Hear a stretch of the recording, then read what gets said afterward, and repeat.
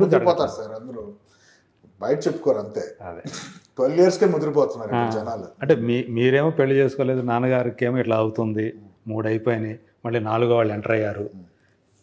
ఏంట్రా ఇది అని ఇండస్ట్రీలో వాళ్ళు మీ మీ ఇంట్లో ఉన్న డైరెక్ట్గా మిమ్మల్ని అడగకపోవచ్చు. ఇది నడు నలుగు ఇది బయట అంతా నడుస్తున్నప్పుడు మీ యొక్క మనోభావాలు ఎలా ఉండేవి? మీ మానసిక స్థితి ఎలా ఉండేది?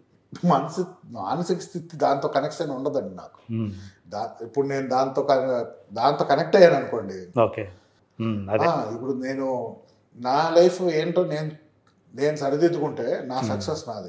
మ్మ్. దాంట్లో నేను పెట్టాల్సిన హండ్రెడ్ పర్సెంట్ ఎనర్జీ ఇంకొకరు ఇప్పుడు అనవసరంగా ఇంకొకరి లైఫ్కి అవసరం లేని దానికి నేను ఎనర్జీ పెడితే నేను ఫెయిల్ అవుతాను అనవసరంగా వాళ్ళకి అవసరం లేదు నా అడ్వైస్ ఒకటి.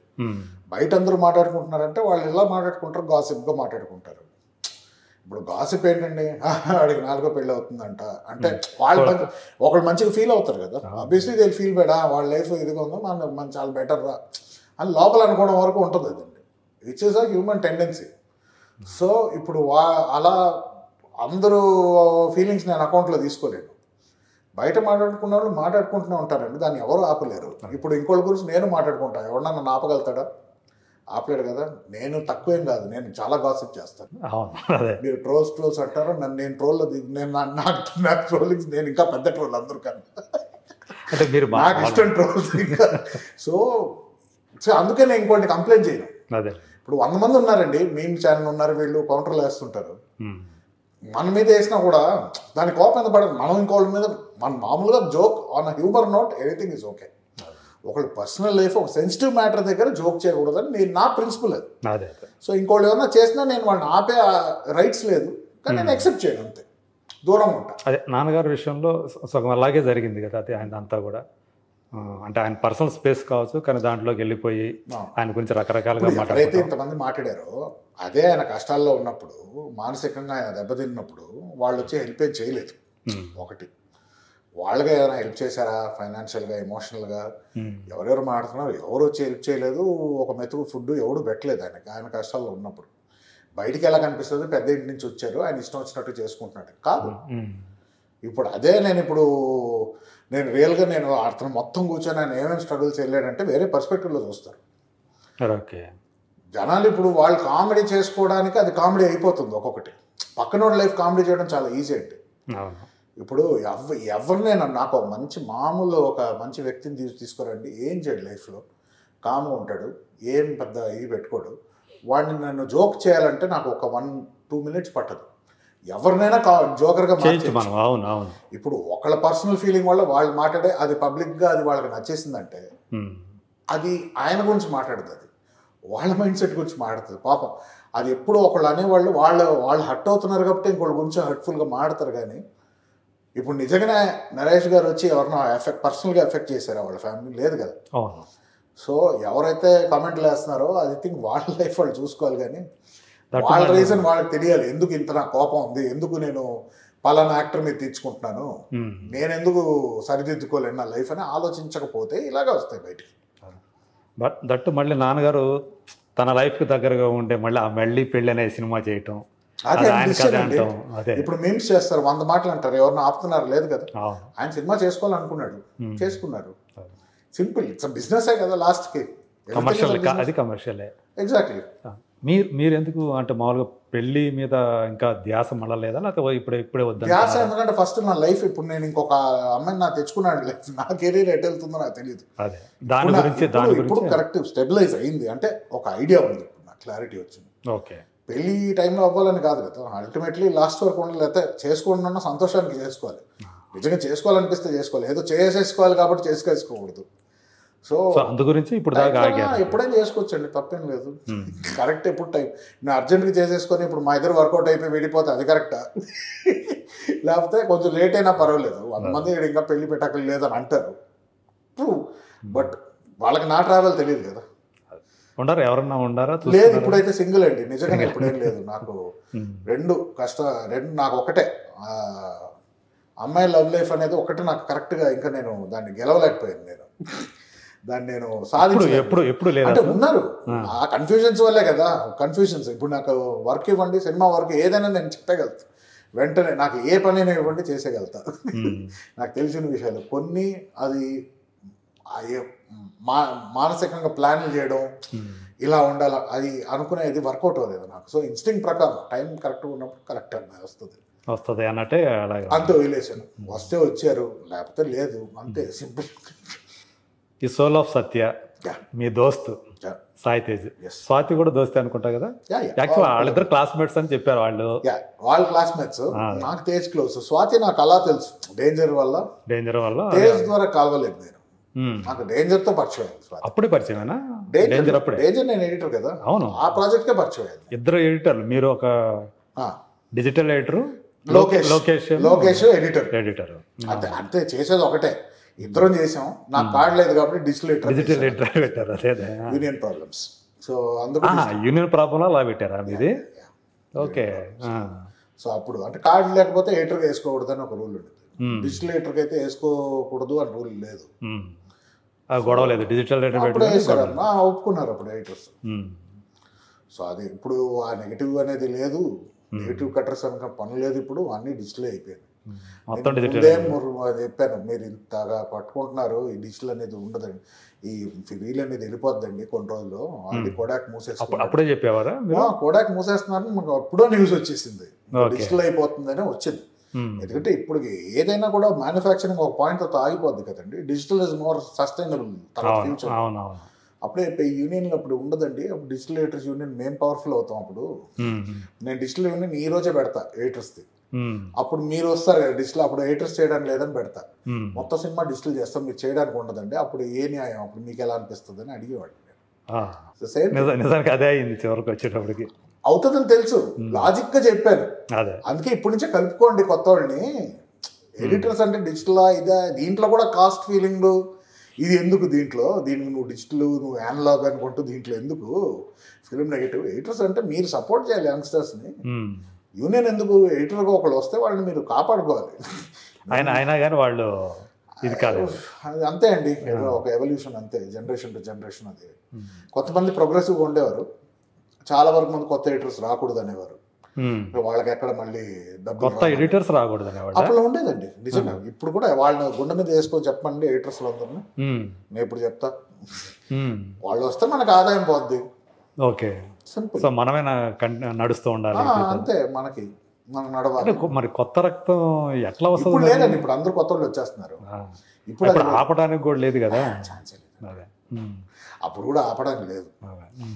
అప్పుడు కూడా నేను అంటే ఒక నవీన్ విజయకృష్ణ ఎడిటర్గా తప్పుకున్న తర్వాత నవీన్ నూలు వచ్చాడు? నవీన్ అనే పేరు అయితే కంటిన్యూ అవుతుంది. నవీన్ పరిచయం ముందు నుంచే పరిచయం. మా నవీన్ మధు ఇద్దరు ఉండేవారు. వాళ్ళిద్దరు ఫస్ట్. దాని తర్వాత అప్పుడు వాళ్ళు ట్రైలర్స్ చేసేవారు అప్పుడు. ఓకే. ఫస్ట్ టైం నాకు పరిచయం మున్నా ట్రైలర్స్ చేసినప్పుడు నేను బిజీ ఉండే అప్పుడు. రాఖీ సినిమా బిజీగా ఉన్నప్పుడు మున్నా ట్రైలర్స్ వంశీపేటపల్లి గారు పట్టారు వాళ్ళు ఇద్దరిని ఓకే. అతను నేను పరిచయం చేసుకున్నా వాళ్ళని. సో తను కూడా నేషనల్ అవార్డు. ఇప్పుడు బాగా Naveen Nooli is one of prominent editors ఇప్పుడు. ఇండియాలో. అంతే. ఇండియాలో చెప్పొచ్చు ఎందుకంటే మన సినిమాలు ఇప్పుడు almost everything is so good కదా. సో సో ఐమ్ హ్యాపీ అదే అలా డెవలప్మెంట్ వాళ్ళు కూడా దే షుడ్ బి నెక్స్ట్ కూడా వాళ్ళ నెక్స్ట్ సక్సెసెస్ వాళ్ళని కూడా ఎంకరేజ్ చేయాలి. వాళ్ళకి వాళ్ళకి మనం ఒకసారి సపరేషన్ అనిపించాం. ఫర్ రీజన్స్ ఓకే నేను ఇప్పటికీ వాళ్ళు తప్ప కాదా అని కాదు. ఒక సిస్టమ్ ఉండింది అప్పుడు. ఇప్పుడు ఆ సిస్టమ్ మారింది. ఇప్పుడు మన ఆ సిస్టమ్ అప్పుడు కొంచెం మనకి ఎఫెక్ట్ అయింది కాబట్టి మన నెక్స్ట్ ఫామ్ అవుతున్నప్పుడు we should be more open కొత్త రావాలి యంగ్స్టర్స్ రావాలి. ఇప్పటికి చాలామంది ఇప్పుడు విమెన్ ఎడిటర్స్ కూడా చాలా మంది వచ్చారు. వస్తున్నారు ఇప్పుడు. వస్తున్నారు చాలా కొత్తగా. వెరీ హ్యాపీ టు నో ఇప్పుడు మేము టెక్నికల్గా చూసుకుంటే అంటే టెక్నికల్ డిపార్ట్మెంట్లో చాలా మంది ఆడవాళ్ళు వచ్చేస్తున్నారు. డైరెక్షన్లో వస్తున్నారు ఎడిటింగ్లో నా ఫిల్మ్స్కి కూడా ఒక ఉమెన్ పర్స్పెక్టివ్ తీసుకుంటా. ఎందుకంటే. ప్రాబబ్లీ నేను చూడండి వాళ్ళు కొన్ని చూడగలుగుతారు. వాళ్ళకి కొంచెం అనిపించింది మనకు అనిపించింది కొంచెం అనిపిస్తాయి వాళ్ళకి. అండ్ అది ఒక వాళ్ళ పర్స్పెక్టివ్ ఉండొచ్చు. ఎగ్జాక్ట్లీ పర్స్పెక్టివ్ అంటే ఒక వ్యక్తిగా వ్యక్తి వ్యక్తికే మారుతుంది. బట్ ఒక ఉమెన్ పర్స్పెక్టివ్ ఎప్పుడు కొంచెం డిఫరెంట్గా ఉంటుంది. ఉంటుంది. డెఫినెట్లీ కొన్ని వాళ్ళు చూస్తారు. మనకు అనిపించేది వాళ్ళకి తెలియదు మనకు తప్పు మనకు తప్పు అనిపించింది వాళ్ళకి తప్పు తెలుస్తుంది వాళ్ళకి. Direction if I'm trying to narrate something. Toss to make sense as director నేను అన్నీ తెలియకపోయినా మాక్సిమం నాకు ఎంత రీసెర్చ్ చేయగలుగుతాను ఆ క్యారెక్టర్స్ గురించి ఉమ్. ఏం చెప్పదలుచుకున్నా అనే దాంట్లో ఆ లూపోల్స్ కానీ అందరి దగ్గర తీసుకు మాక్సిమం నాకు కుదిరినంత వరకు తీసుకుంటా. ఓకే సో అందుకు it works that way so అలా ఉండాలి. వెరీ ఇప్పుడు సోల్ ఆఫ్ సత్య కూడా అలా తీసుకున్నారు ఏమన్నా రైటర్ కడలి అమ్మాయి రైటర్ దానికి ఓకే. మనకి మ్యూజికే శృతి రంజని శృతి రంజన్ పాడింది ఆవిడే. కంపోజిషన్ ఆవిడ వాళ్ళ ఆవిడ మ్యూజిక్ డైరెక్టర్ అతనికి తనకి హెల్ప్ చేసిన అతను సాకేత్ కమండూరి అని అతను సింగర్ సింగర్ ప్లస్ ఆయన మ్యూజిక్ డైరెక్టర్ కూడా. అతను అరేంజింగ్ మిక్సింగ్ అవన్నీ చేస్తాడు ఆయన. సో అంటే ఫ్యూచర్లో అతను ఆయన స్టార్టింగ్ మ్యూజిక్ డైరెక్షన్ ఆల్రెడీ రెండు మూడు ప్రాజెక్ట్స్ చేస్తున్నారు అతను కూడా. సో అతను వాళ్ళందరూ ఒక టీం సో వాళ్ళ సొంత చెల్లెల్లాగా శృతి. సో. తను టాలెంటెడ్ మ్యూజిషియన్ శృతి కూడా. సో అలా ఎంకరేజ్ చేశాడు. సపోర్ట్ ఒక్కొక్కరు సపోర్ట్ చేసుకుంటూ చేశాం అంటే మీరు సినిమా కాకుండా డైరెక్ట్గా సినిమా కాకుండా ఒక మ్యూజికల్ వీడియో తోటి డైరెక్టర్గా పరిచయం అవడానికి ఏమన్నా రీజన్ ఉందా? యాక్చువల్లీ నేను సినిమాతోనే అప్రోచ్ అయ్యాను డిఆర్పిని ప్రొడక్షన్స్ని. అప్పుడు హర్షిత్ దీనికి ముందు ఒక టెస్ట్ లాగా ఇచ్చినట్టు ఉంది ఇది యాక్చువల్లీ నేను చేశాను. మిమ్మల్ని టెస్ట్ చేసాడు అంటారు హండ్రెడ్ పర్సెంట్ చేయాలి కదా. అంటే కేబిలిటీ ఇప్పుడు అతని ఐడియాలజీ అది కొత్త మ్యూజిక్ డైరెక్టర్స్ని ముందుకు తీసుకురావాలి. ఇలా ఇంకా చాలా మ్యూజిక్ వీడియోస్ చేయాలని వాళ్ళు అనుకుంటున్నారు. సో ఇది ఇది ఒక ప్రారంభం లాగా దానికి.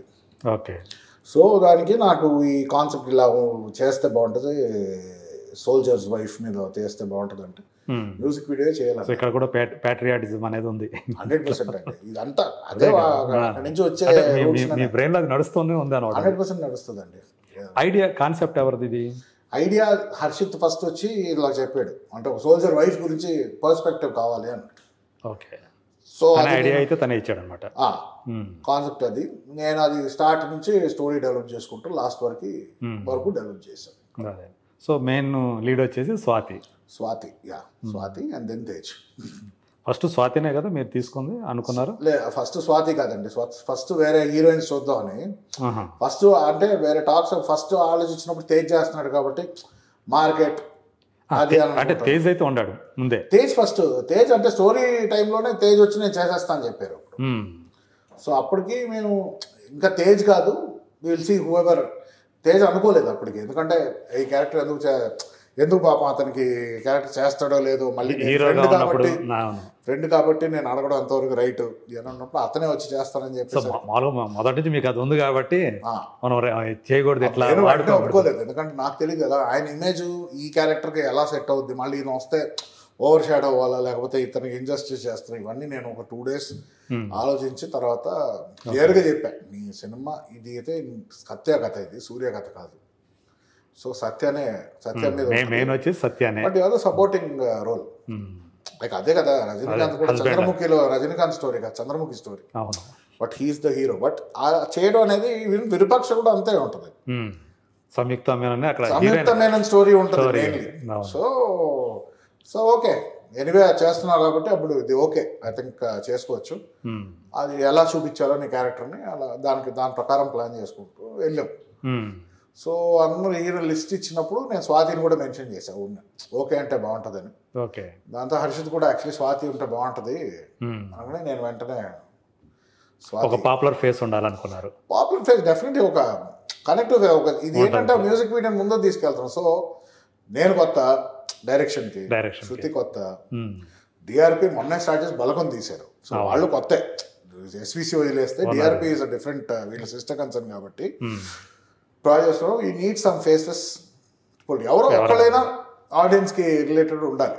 At least either the producer or the director or someone should be so we need Tej రావడం ఒక మంచి అడిషన్ అయింది. సో దాంతోపాటు Swathi first initially someone like Keerthi or Anupama they thinking of options like that first నాకు తెలిసి కీర్తి వచ్చింది అనుకుంటా. కీర్తి తర్వాత Keerthi was not was busy. అప్పుడు తను వేరే ఎక్కడో ట్రావెల్ చేస్తుండే అండ్ తను వచ్చేవారు నేను వెయిట్ చేయలేకపోయాను. ఎందుకంటే మేము అర్జెంట్లో ఉండే. వెంటనే వెంటనే we had to decide something okay so అక్కడ ఈ లిస్ట్ మేము నెక్స్ట్ పెట్టానమాట. ఇలా మిగతా హీరోయిన్స్ పెడతాం దాంట్లో స్వాతిని కూడా మెన్షన్ చేయాలి ఫస్ట్ స్వాతిని పెట్టి మ్మ్. మిగతా వాళ్ళు అంటే నా ప్రిఫరెన్స్ తినైతే బాగుంటుంది. రాసేటప్పుడు అనుకున్న స్వాతి చేస్తే బాగుంటుంది కదా. బట్ ఓకే తేజ్కి ఆపోజిట్ ఒక హీరోయిన్ ప్రాబ్లం ఈవెన్ స్వాతి కూడా ఫస్ట్ క్వశ్చన్ అడిగి తేజ్కి ఓకేనా మరి నేను. AP Tej is more happy friend classmates అదంతా వరి అవ్వకు. నువ్వు ఈ క్యారెక్టర్ నువ్వు పర్ఫెక్ట్ ఉంటావు. తేజ్ అనే సోల్జర్ క్యారెక్టర్ వాడు పర్ఫెక్ట్గా ఉంటాడు. కానీ ఒప్పుకుంటుందా స్వాతి అనేది ఉందా? కొంచెం ఏదన్నా? ఒప్పుకునేసింది. వెంటనే ఒప్పేసుకుందా? ఆ, అసలు టైమే లేదు. యాక్చువల్లీ టూ డేస్ షూట్ ముందే ఓకే చేసాం స్వాతి. మ్మ్. ఎవరు మీరు మాట్లాడారా? లేకపోతే తేజ్ నేనే? మాట్లాడా? ఓకే. తేజ్కి అసలు తెలియదు నేను మాట్లాడాక స్వాతితో అప్పుడు చెప్పా. అవునా? స్వాతి అని సూపర్ రా అన్నాడు వాడు. అంటే ఆ టైంకి వర్కౌట్ అయిపోయింది అది. So it was meant to be ఇప్పుడు ఆపరేషన్ లేకుండానే మోకాళ్ళకు ప్లాస్మా ట్రీట్మెంట్. మీ ఆర్థోపెటిక్ సమస్యలన్నిటికీ రోబోటిక్ టెక్నాలజీ ద్వారా తక్కువ ఖర్చుతో శాశ్వత పరిష్కారం. Free consultation. ప్రతి ట్రీట్మెంట్ పై ట్వంటీ పర్సెంట్ డిస్కౌంట్. ఈ ఆఫర్ కొద్ది రోజులు మాత్రమే త్వరపడండి. V nine hospitals nine two eight one four six five eight four two